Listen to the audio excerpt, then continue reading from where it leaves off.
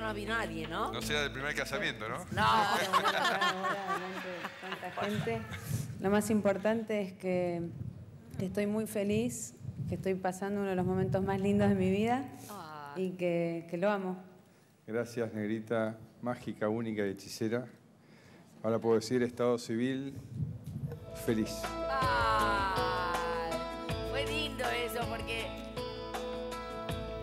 yo esto lo había visto igual, les aclaro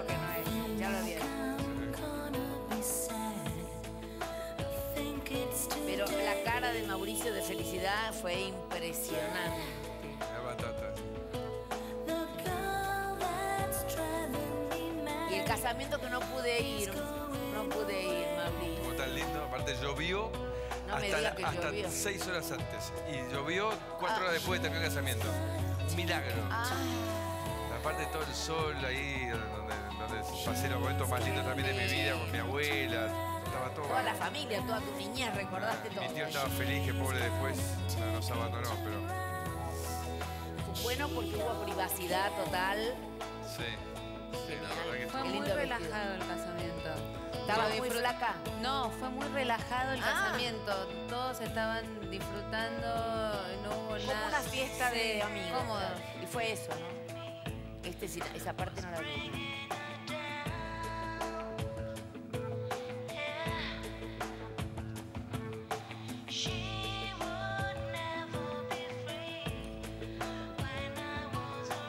Y casi me pierda, y después casi me tragué el bigote.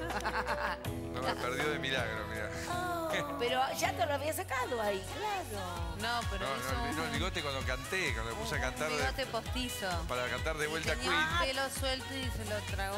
Oh, no. Y casi me quedo viuda Ay, no puedo creer, ¿en serio? ¿Se ahogó? no, me ¿Sí? voy mal, me voy mal. La pasé, pésimo. La pasé. ¿Pero qué pasó? Me tragué el bigote de plástico, empecé a cantar y se voló un cacho y se me metió dentro de la boca. No, casi me muero.